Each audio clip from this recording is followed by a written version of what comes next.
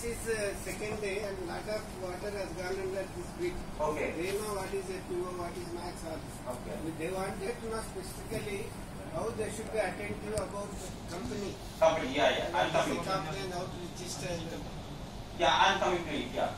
So okay, I'm, I'm getting into the point then. You know, government act and processes. You know, something which I'll be concentrating on. You know, the uh, this has pointer.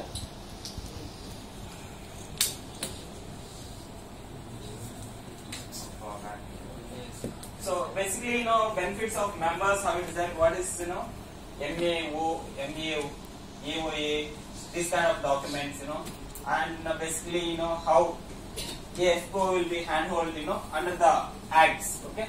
So I, I just come to the straight away to the point, you know, this is pre-registration process you know, of an FPO, okay. Normally we need to select the farmers, so you are familiar with you know how you know FPG or FPI you form it at a group, small groups level, farmer produce uh, groups, or you know you can call it as you know interest groups, self something like that. Yeah, yeah. So you you need to identify your farmers, your member, members, and all. You know then it comes to we need to identify the board of directors. Okay, board of directors is something very crucial here.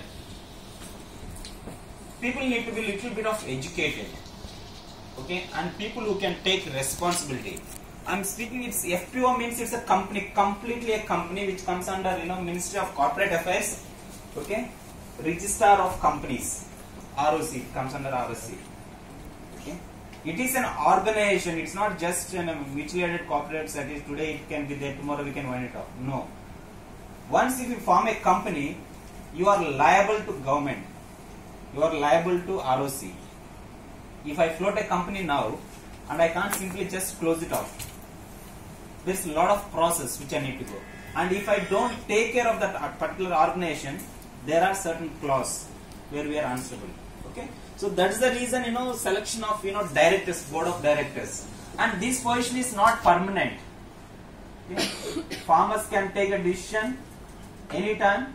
They can nominate new person, or they can continue the same person every year you can have it based based on the bylaws which you write down okay yearly once or twi- uh, no, twice or you know once in two years you can have your own change of board of directors okay so registration process i will be concentrating on registration process then basic aims and object, objectives okay jurisdiction you know commodity you know limitations capital shares everything okay Sorry, sir. According to the Companies Act, uh, the board of directors shall meet once in uh, three months, no?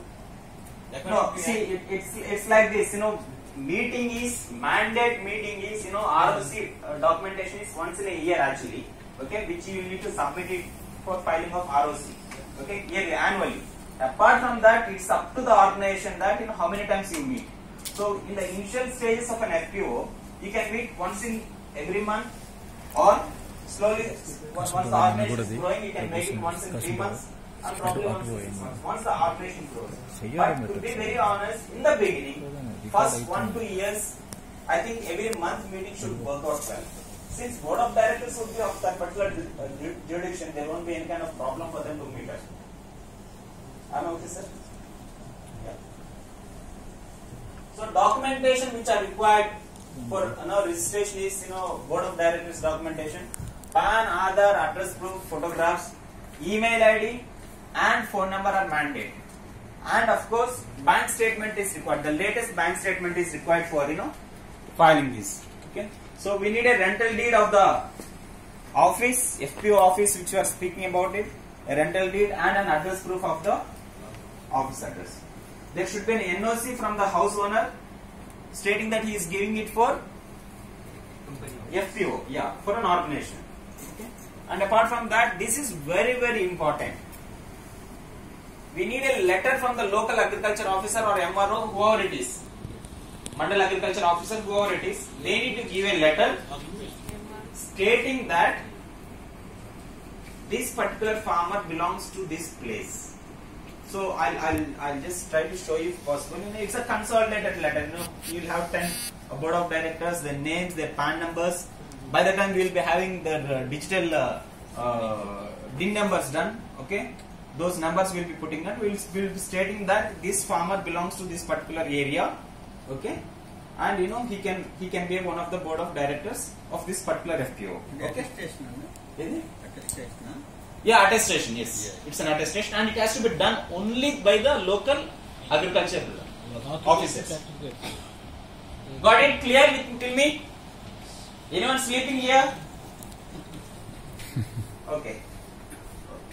Uh, down you can see here, you know, I think this is, uh, is it visible this one? AOA document, articles of association, we call it as, MOA is memorandum of understanding actually. Okay, DIN form, there is something called DIN. Memorandum of Association. Yeah. DAN, sorry, DIN. DIN stands for Direct Director Identification Number. It's almost a similar, similar like our PAN number, but it's a one of the board of directors. If we have that number only, you are eligible to become a director in any company. So that's a permanent number, in fact. Okay. So there are a lot of litigations here. You know, I just wanted to share, speak about little on DIN. After taking DIN number, DIN's life is only for two years. So every two years you need to renew your DIN number, director identification number. One person can be a director in multiple companies. For example, Divakar sir, he can be a director in several companies with the same DIN number. In case if any one of the company is not performing well and they are not filing returns and all, that particular organization, government will block that particular all the directors of that organization. So now what happens? SAR is a director of five organizations. He, they have blocked the directors of one particular organization. So therefore they can't perform activities in other four organizations also.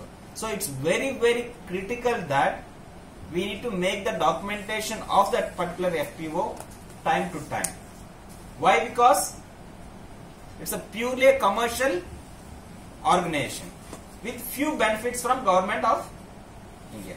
Okay. So uh, number DSC is something again like you know digital signature. Now everything has become digital, digitalized. So everybody will have a digital signature. Board of directors also will have a signature which is digitalized. Okay. Yama. So, you had a question?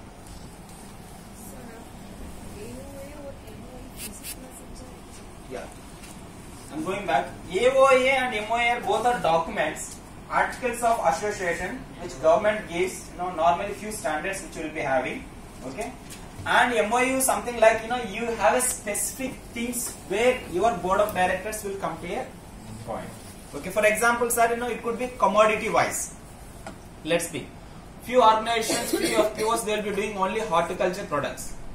Okay. And they can have a specific products in their particular memorandum of understanding and they can have the process what they can do. If they want to process you know today they are farming it they may think that you know tomorrow we will do the byproducts of this or we will do you know come into get into a value chain of this particular commodity okay? Or let's have some kind of godown or let's brand our own product.